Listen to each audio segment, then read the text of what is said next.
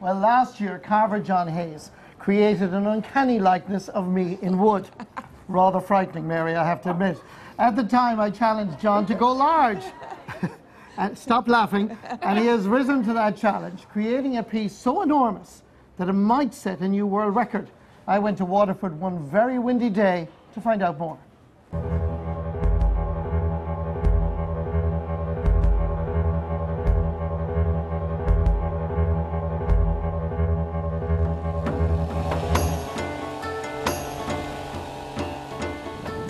Hi, John. Good to see you. Hi, Mark. Well, John, I'm absolutely gobsmacked. This is enormous. It's a giant wooden Viking sword. How do you start carving something this massive? I suppose the biggest thing was to find a tree. It took us nearly six months to find it, and we were lucky enough here in Ballynamona and the Bogassi family. We came across a tree that hadn't uh, been cut down but had fallen naturally. It was 23 metres long and uh, over 14 tonne in weight. And that was where I started. How do you come up with a design like this? The design comes from the help of Waterford's uh, museum, Viking Triangle, Eamon McEneaney and all his team. It tells a 270 year history of the, the Vikings from the time they arrived from Norway and intertwined with our history from the Battle of uh, Tara, the Battle of Clontarf, the sacking of York, to the marriage of Strongbow and Aoife in Reginald's Tower. It was very important that people would really enjoy walking along it and actually learning the historical side of it.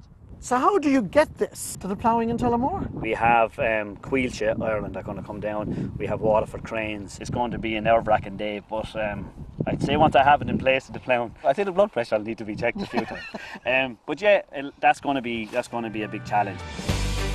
Last Friday, John's masterpiece started its journey to Screggan in County Offaly.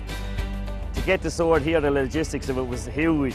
We had the cranes, we had the long lorries, we had the motorways, the small streets, but we got it here. And it's after been absolutely amazing. The people at the ploughing and the response we're after getting from me and all the team, James, it's really after lifting us up. And we have Murphy surveyors here that after been taking the measurements, and uh, we've got that measurement. And I'm just after being told by Murphy surveyors that our measurement is 23 metres long. That smashes it. So we're going to put the stuff together, send it off to Guinness that's it, it's all over now for today, and now I have to get it home. I'm over the moon, and thanks to everybody at the ploughing and everybody who was involved in, the, in this sword. It, I'm delighted, absolutely delighted. Thank you. Enjoy the ploughing 2017, we did it!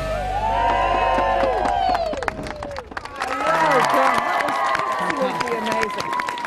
Really incredible. I have to say, uh, Anya, that John Hayes is a very special man with a very special talent.